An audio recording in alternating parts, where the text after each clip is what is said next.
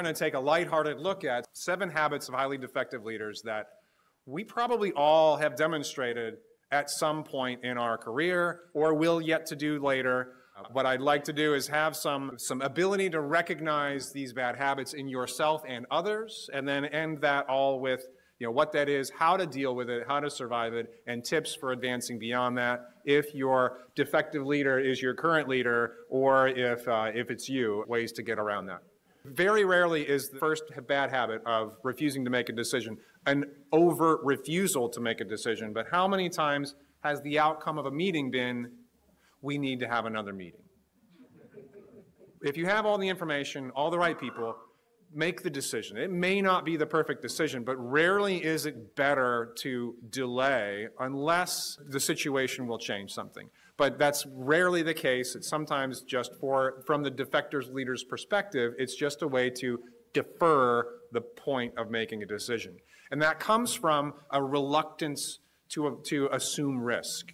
Uh, that's inherent in the nature of decision making is that you have to accept the risk that you might be wrong. And someone who has this bad habit does not want to take a risk that they have made the wrong choice. No one likes to be wrong. We get that. But no one should expect to always be right either. It's frequently far better to work in a workplace with a leader who is decisive, even if they're occasionally wrong. No one can expect to always be right. It's, a, it's an unfair assumption for yourself and for your workplace if you have your risk tolerance tuned way too high. It's frequently associated with thorny personnel issues. We get it. That's why they're difficult decisions. The easy ones have already been made. And if they are even within your authority and you're delaying it just for defective reasons, oftentimes the thorniest ones you'll get will be people and other people. But make those decisions and move on. It is the ripping the band-aid off kind of an idea. Your workplace will be better off for it. You won't always be right, but it will pay dividends in the long run to make that decision and move on. It goes with the mantle of leadership. A good question to ask somebody that is uh, in the habit of deferring decisions is, are we adding any value? Will the passage of more time change anything that would change how the decision would go. In technical terms, that's sensitivity analysis. Some things can change the outcome of a decision, and if those situations need to develop more, that's fine. But if nothing's going to change, a good question to ask a defective leader is, will delaying this decision add any value to it or change it in any way? Or is it just, you need to be more comfortable with it? Which can be fine. But it's a great question to ask yourself or your leader. So this kind of perspective comes from living in the short term, not thinking long term. It is a very short term. The defective leader is thinking, get me out of this difficult conversation that I don't want to have with these people asking me to make a decision that I don't want to make. And they're the boss, so they can punt the decision to the next meeting or decide it later. So it ignores the cost of delay, though, and it ignores the frustration and, that the uncertainty around the issue. Uh, even if you already know how the leader will decide, it can be frustrating on everybody associated with it for a defective leader to delay and defer decisions without adding any value or letting the situation develop in any way. So some helpful tips for managing a defective leader or yourself if you find that they don't like to make routine decisions. If you see a bit of yourself in any of these, please take note. Defective leaders are always asking for more information, more data when pressed for a decision. And if furnishing that data will help make a better decision, go and get it and serve it back up because now you know that this piece of information is needed to make this decision. But don't let perfect become the enemy of good. We've all heard that phrase before. The distance between nothing and something is infinitely larger than, than the distance between something and perfection. It's, it's, it's far better to be close to good than to go from good to perfection. And rarely are we aiming for perfection, especially if you have a defective leader or you are yourself the defective leader. And a, a way to, to, uh, to work on this never ending search for data is just straight up ask the defective leader, will this change the decision? Or you know, how, in what way will this change the decision? And if they are actually thinking about, well, if this, then that, if this, then that, then you know that furnishing that data will provide the information you need to take that next step. One manifestation of indecision is not even answering an email. I've got 50 5,000 unread email messages in my Gmail. Most of it's marketing garbage, uh, as is most of our email accounts these days. But a very common technique it, for a defective leader is when reading an email that they don't want to deal with is just ignore it. If it's an important situation and it needs to be addressed, they'll come back up. It's kind of the thought process behind it. So if you are asking a question or asking for approval in an email of a defective leader, don't.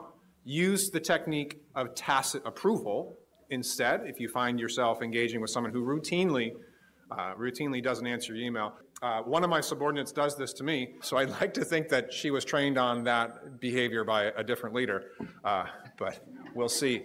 Uh, we'll see. It's been 10 years. Uh, she's fine.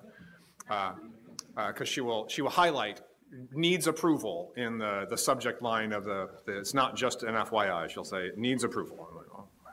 Okay, I guess I have to make a decision here.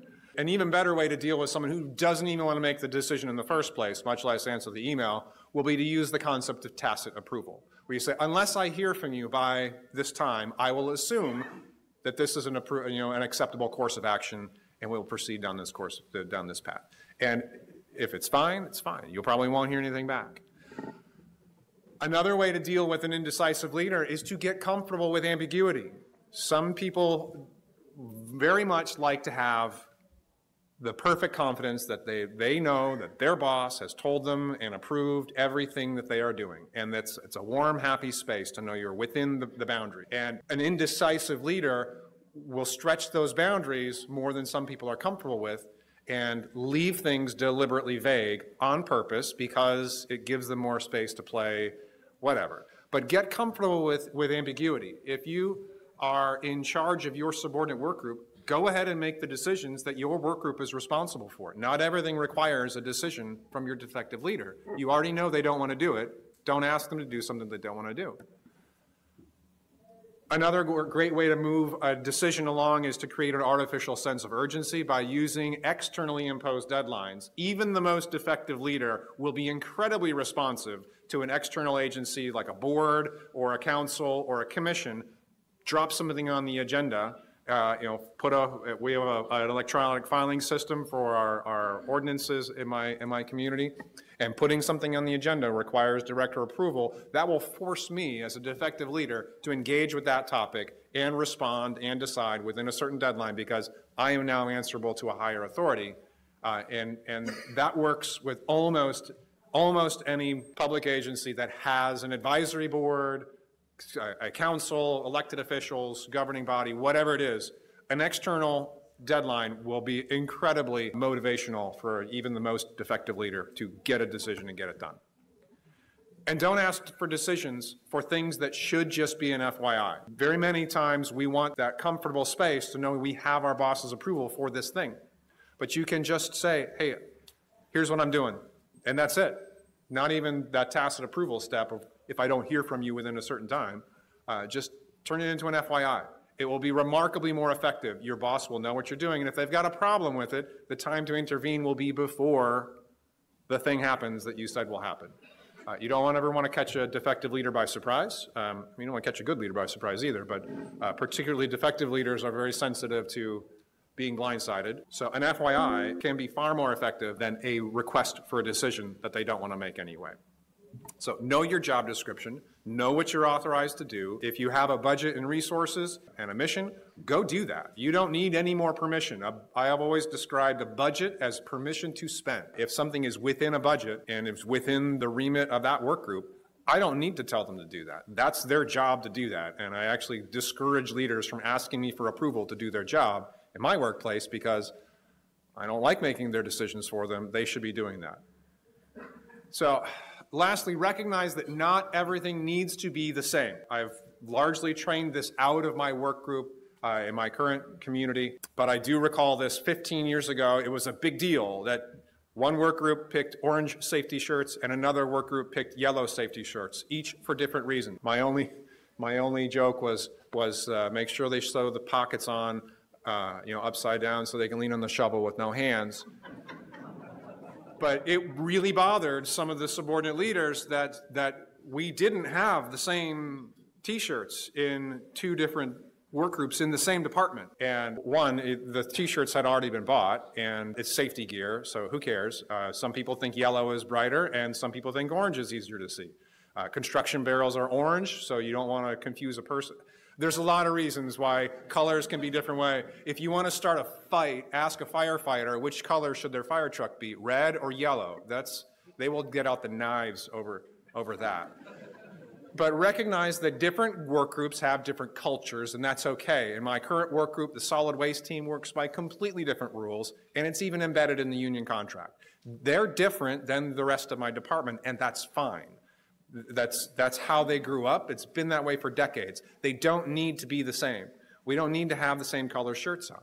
I only insist that it have the city logo on, and we're an accredited agency, so I make them put the patch on the, on the shoulder, uh, put the, uh, embroider the, the, uh, the, accreditation, the accredited agency logo on there. That's it. Everything else is up to them. Second bad habit is not doing what you say you will do. It, this is this is a very, very bad habit. It comes from a good motivation that you want to be liked and you want to be friends with everybody. So when someone asks you something to do something, you naturally are inclined to say yes. But when you inevitably fail to deliver because that thing is difficult or complicated or more nuanced than that person's present understanding, uh, it sets you up to be a phony. And it will absolutely, absolutely tank your credibility and turn it straight upside down. Frequently found with junior and inexperienced leaders Junior and inexperienced leaders exhibit a lot of these defective habits. By no means are they ex the exclusive owners of defective habits, but experience is what you get when you don't have any, and making mistakes is a great way to acquire experience. So uh, tubing your credibility is a bad idea, and that person will not forget. If they have asked you to do something and you have said yes, they will not forget that. It can be years later, and when you have failed to deliver that thing to that person, anytime you offer anything else, it will always come with a caveat or an asterisk that they'll remember that time you said you would fix that thing that bothers me and you didn't do it. So, some helpful tips. If you have a defective leader and you are asking them to do something, don't. They're not going to do it. If you know you are dealing with, with someone who has a propensity to overpromise and underdeliver, stop asking them. They're not going to do it. It will be a lot more psychologically satisfying for you.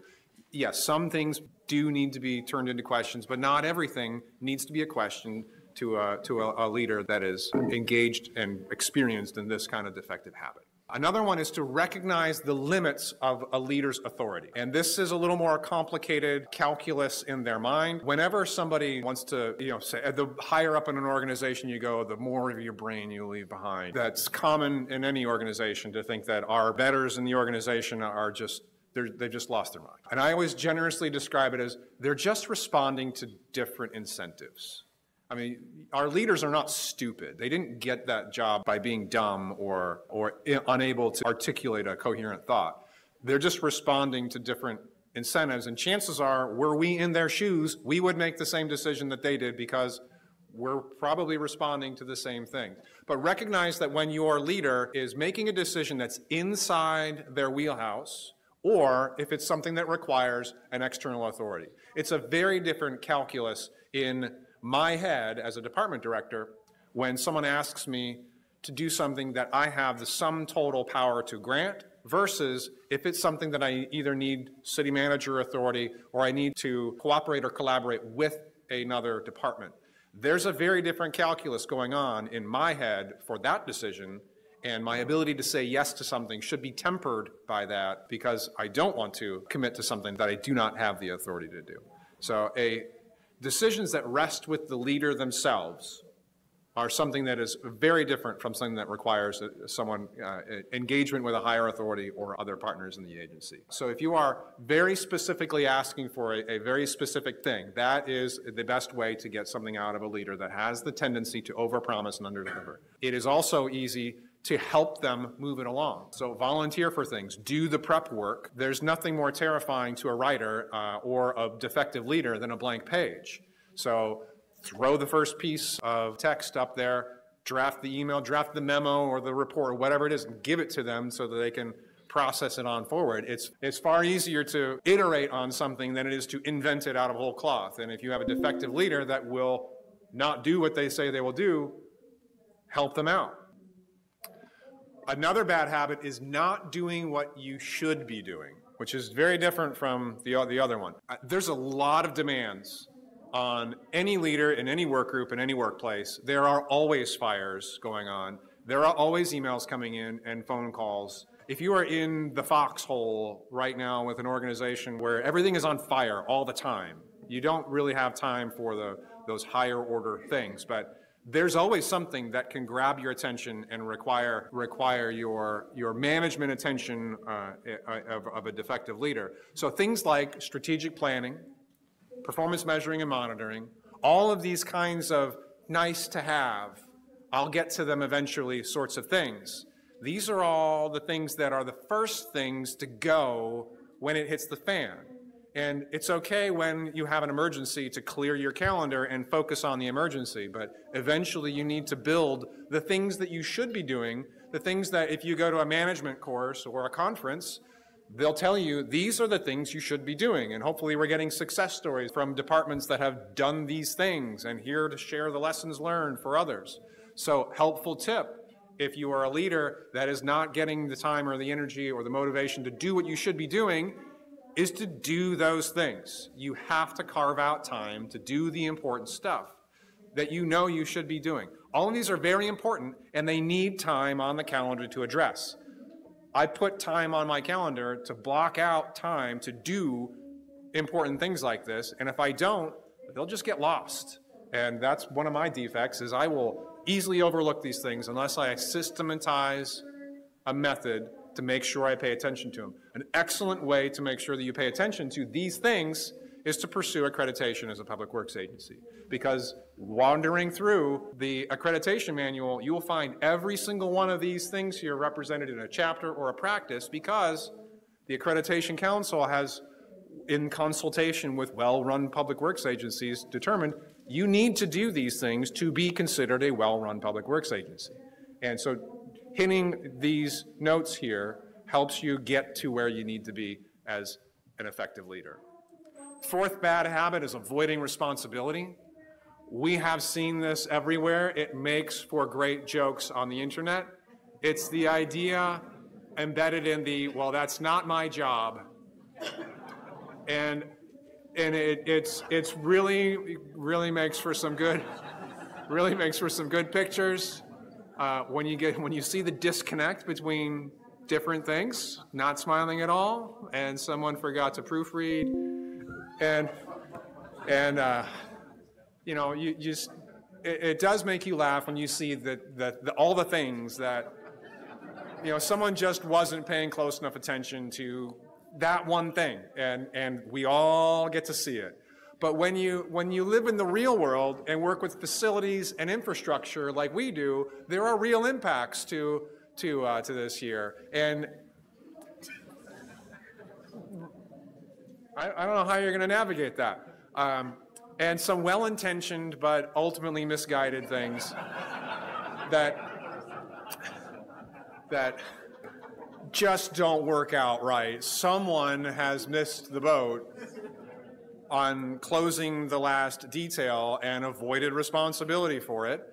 Uh, and in the business we work in, that has that can have a real impact. Uh, hopefully, no impact here, but uh, take a take a look in the mind. We have all encountered someone in our workplaces that has defined their job down to only what they want to do. Their job description is this big, but that guy we all know he only does this. Uh, I encountered this early in my tenure in public works with a, a, uh, a supposed, uh, well, he was a draftsman, but he was supposed to be working in CAD. He only drew, he was still hand drawing blueprints uh, in the year of our Lord 2010. Um, we had, the collective we, that work group had standardized to CAD drawings like 20 years ago, and he was still drawing because he liked it, and I, it was probably a pacing control issue, um, but uh, he was still producing um, you know, hand-drawn blueprints in 2010, and th there's not a good reason for it. It's much harder to share, they're much slower to draw. I think he liked it that way. Uh, but a, a, a peek inside the mind of someone that is perennially avoiding responsibility like this, defining their job down to only that which they want to do, you often find that there's a, feel, a fear of failure as a motivation They won't want to accept the reality that times have changed, and so must they. The job description is different. They will play the victim. It's, it's everybody's fault, or everybody else is doing it too. It's not just me. Uh, you know, when things just happen by chance, you know, it happens. Um, and sometimes it hits the fan, but when it always happens to the same person by accident, it's not an accident anymore.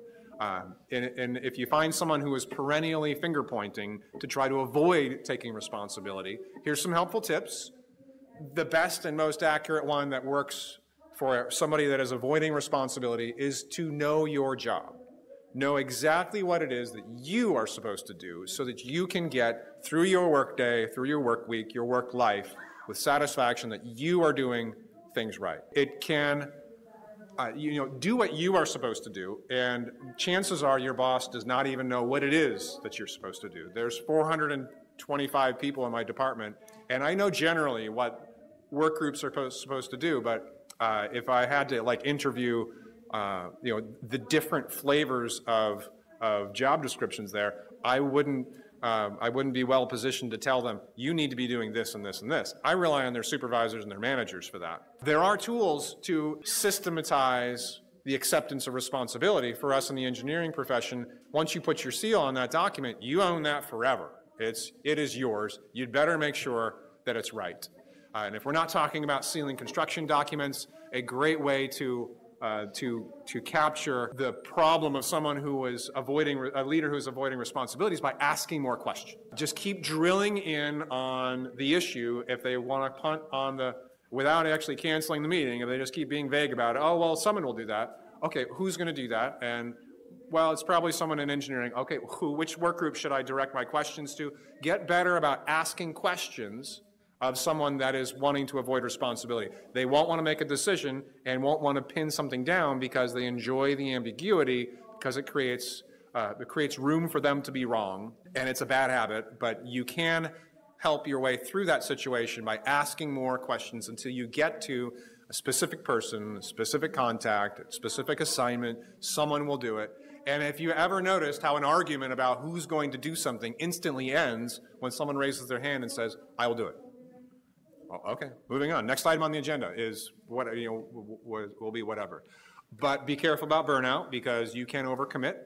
You are in charge of your own story. When in charge, take charge. And if you are in charge of something, go forth and do it. And don't come back until you're done. It's a great way to solve the problem of people in your workplace avoiding responsibility is do your job and do it until you are until it's complete and you're satisfied with it. The fifth bad habit is passive aggressive behavior. And this is a very bad habit. It's very pernicious in the workplace because we have rules, and one of those rules, generally speaking, is we need to be nice to each other. But it is very possible to be very nice and very mean at the same time. And we, the collective we, especially in the management class, have, have perfected the art of passive aggression, uh, sometimes to our, to our detriment. So a few helpful tips to be mindful of that if you see this in yourself or your defective leader.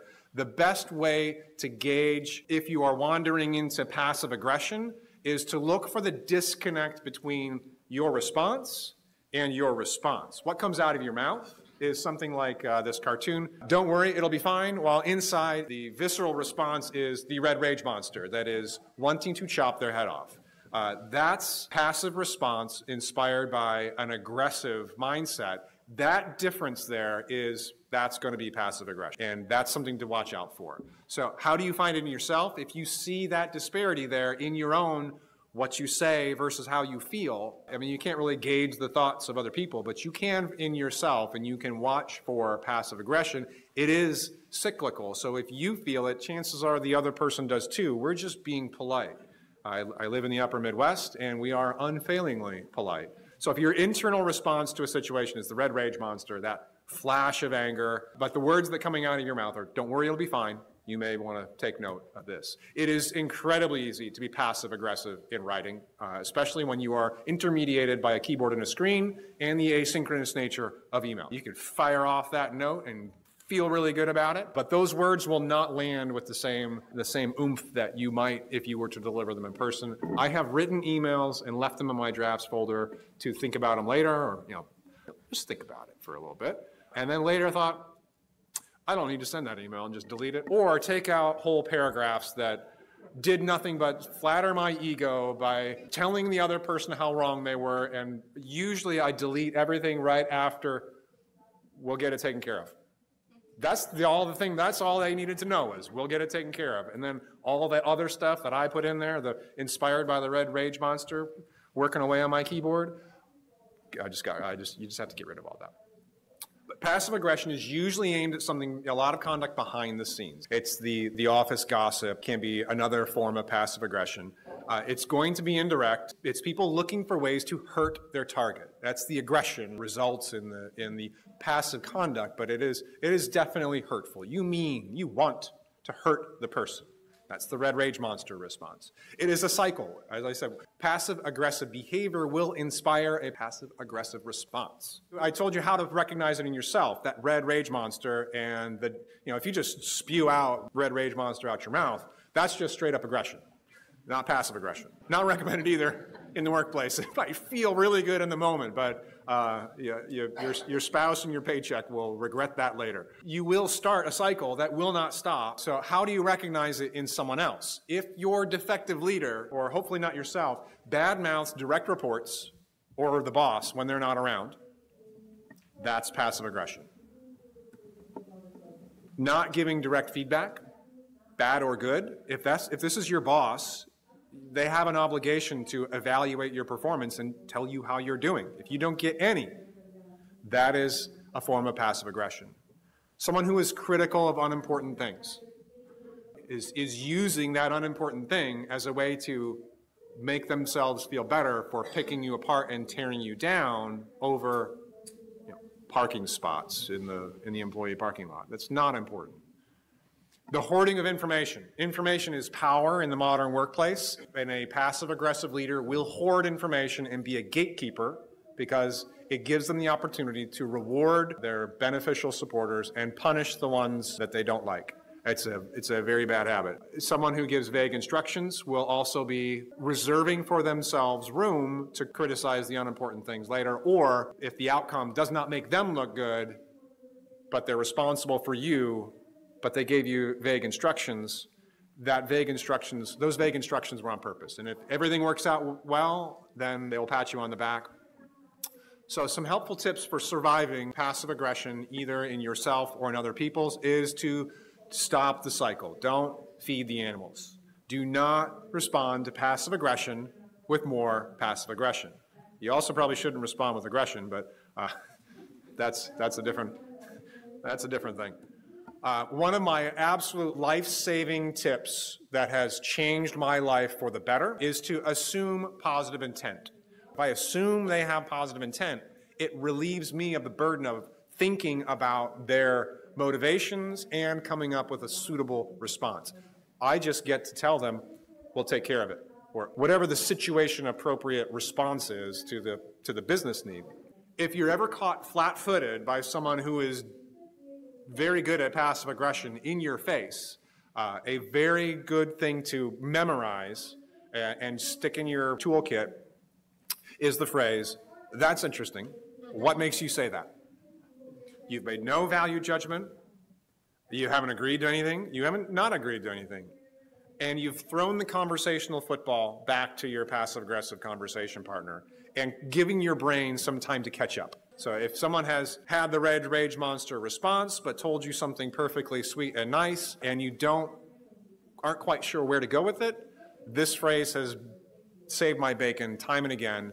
And this does not get you in trouble with anybody. Interesting is not bad. It's not good. It's not bad. It's just, oh, that's interesting. What, make, what makes you say that? And it invites them to explain one layer deeper than what they've actually said, and it gives your brain time to catch up, which is very, very helpful. So when dealing with someone who is exhibiting passive aggressive tendencies, set clear expectations, limits, and deadlines, communicate them clearly. That is incredibly helpful to have it in writing with neutral business, business appropriate language and tone. Uh, communicate clear and natural consequences, even with your boss. It is fair to tell your, your leader, if you tell me to do that, this is the consequence of that. I will not do this. Is this still what you want? And oftentimes, if they're otherwise defective, they'll, you know, they'll, they'll oftentimes backpedal. If they're actually a good leader who's just being bizarrely passive aggressive sometimes, they will understand, oh, oh, yeah, I'm, I'm, I'm sorry, that's, that's not, that's not going to work out because I still want that and I want this. How can we do both? Now you have a new conversation and by communicating clear and natural consequences is a great way to break the cycle. Breaking the cycle is the very most important thing when you are engaging in passive aggressive communication with somebody. Just stop. You do not have to do passive aggressive responses to someone who is continuing to be passive aggressive. An alternative, we talked about passive aggression, outright aggression. A healthy response is assertiveness.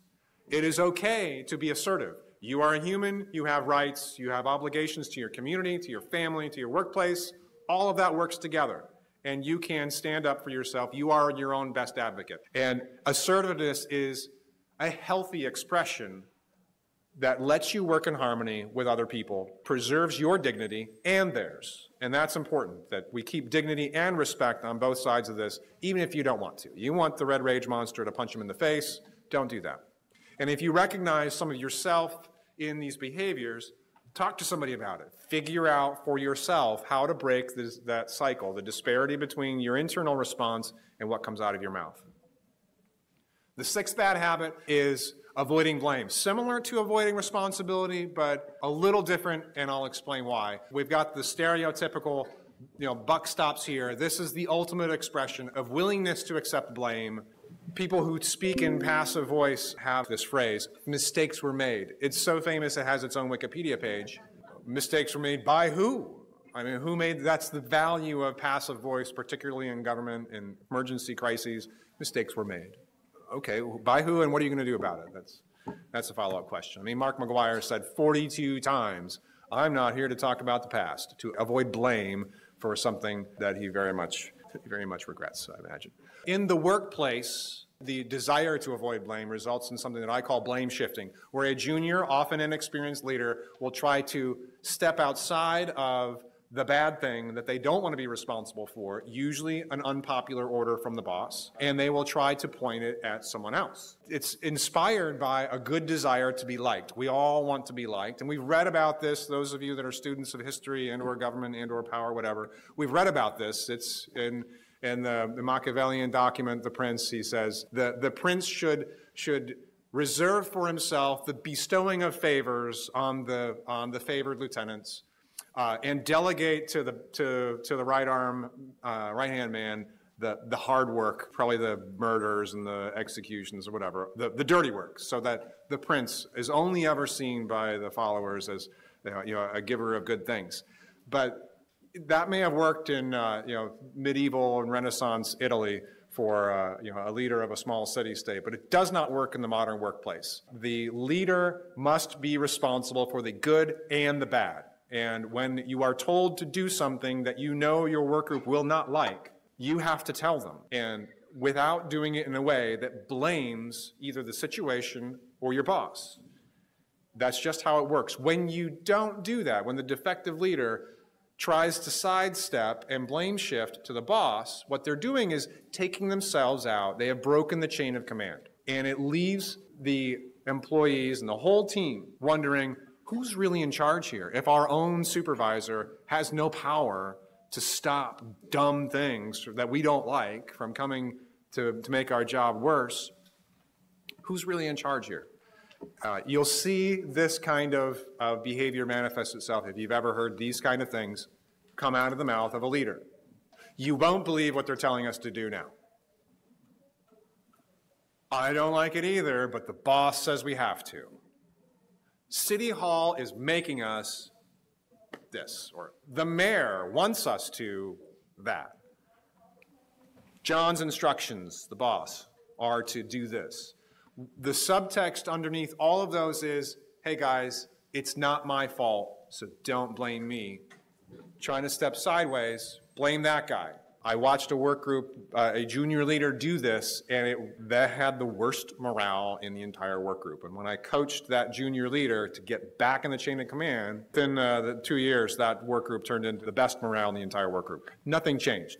Same leaders, same chain of command, Same work, same orders, same stuff. The change was the leader's perspective on where he stood with relation to his team and his boss, and he put himself fully in, in between the manager and the team, and it boosted dramatically the confidence of his team. So, some helpful tips. Change how you say what you say if you find yourself having said any of the things there. Here's what we're going to do the policy for XYZ is now this. Yeah, City Hall may have come up with it, but you don't have to blame City Hall for the new purchasing limits policy, whatever it is you don't like. The policy is now this. Here's how I want to tackle this next task, even if it is the most unpopular task that you've ever come across. It's your job as a defective leader to do what we are told to do. And if you have a real disagreement with your supervisor or your manager about what it is you are being asked to do, because you know it's going to be unpopular with, with the team, hash that out in private between them. You are a professional, your manager is a professional. Yes, they may be responding to different incentives, was how I euphemistically described it earlier. Uh, they're not totally defective either. And the opportunity to sort that out and have influence on what you're going to do is behind closed doors in a one on one between the manager and the supervisor. And then when you come out of that room in agreement that this is what we're going to do, this is now your job, this is now your task, and you are telling the team, here's what we're going to do, here's how we're going to do it. And that's a very different reception than, I don't like it either, but guess we got to because the boss said we have to.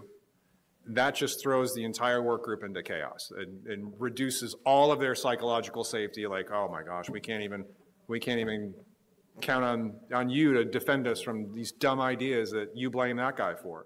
Well, when they're your ideas, they don't blame the boss for it because you bring it to them if you present it in this way. Seventh bad habit is that of resume building. To a certain extent, we should all be doing some resume building. We are our own best advocates for our own careers. No one will manage your career as closely as you. Uh, but we've all seen the shameless careerists, those who uh, are always on the way to somewhere else, uh, the short termers, that's fine. Um, but the, the flaw for the defective resume builder is that they think they're indispensable, but they are also not going to put in the time, the energy, the effort, the commitment to make your workplace as good as it could be because they're always eyeing what it is that they need, positioning themselves for what comes next. And it can lead to a lot of what I, what's referred to as empire building. You have situations and decisions that don't seem to make sense for the work group and its budgets, responsibilities, and things. It's just to make that person's resume look good and look better. And you need to pad it with some more stuff so that when they go to their next job interview at some other place, they have some shiny objects to show. And that is a very difficult situation if you work for someone like that because they're incentivized to continue doing that. And maybe they'll grace you, your workplace with their exit someday. You can probably count on it. Heaven help you if they don't. You've got a uh, a shameless careerist and they don't go anywhere, they're probably not very good. So some helpful tips. The most helpful tip if you find yourself working with a, a, resume builder is to hold on. Your boss will get you into stuff that you really shouldn't be involved in. And that's just going, that's, a, that's an accepted fact. They're also your boss and they get to call the shots in your workplace. So hang on. There are silver linings to that. You will get more exposure to more and more interesting things. So don't be afraid of that. Just you know, it's just part of the territory of following the coattail. I've ridden coattails of, no, he wasn't a shameless careerist, but uh, he was rapidly promoted through a, a, work group, and I just followed right along behind him. And I got to do all kinds of things that a public works department should not have been involved in. And I had a lot of fun doing it. and keep your resume up to date. Uh, you know, uh, like I said, we are our own best career manager, and if you are following in the wake of a of someone who is rapidly moving through an organization, that can redound to your benefit through promotions in the organization. But if there is a sudden stop at the end of that cliff, you might go over it with them, and it's helpful to have a parachute. So mind your career, mind your resume, and take care of your own career future. The seven habits of highly defective leaders, uh, as I said, started out as a mean spirited takedown, but the more I thought about it, the more I thought, oh, I do some of those things too. And good leaders that I know also had some of these bad behaviors. So I, I, wanted to, this is by no means an exhaustive list. This is not the only seven bad habits of highly defective leaders. So leaves room for a sequel. Thank you very much.